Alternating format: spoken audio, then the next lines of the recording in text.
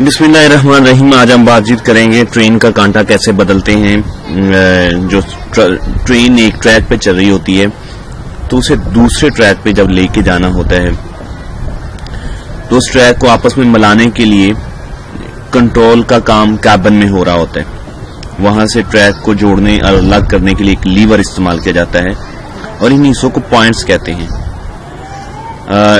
ٹنگ ایک پٹری کو اٹھا کے دوسری پٹری پر لے جاتا ہے، جہاں پہ آپ نے ٹرین کو لے کے جانا ہوتا ہے۔ مطلب وہ ٹانگ کا سرا اس لائن کے ساتھ کنیکٹ کرتا ہے، جس لائن پہ آپ نے اور وہ کیبن سے سارا کچھ کنٹرول ہو رہا ہوتا ہے، جیسے ہی آپ ٹانگ چینج کرتے ہیں۔ تو ٹرین اس ٹریک پہ چلی جاتی ہے مطلب ٹریک ون ٹو تھری جس پہ آپ نے اسے لے کے جانا ہوتا ہے، جس اسٹیشن پہ جا کے جہاں جس ٹریک پہ اس نے لگنا ہوتا ہے۔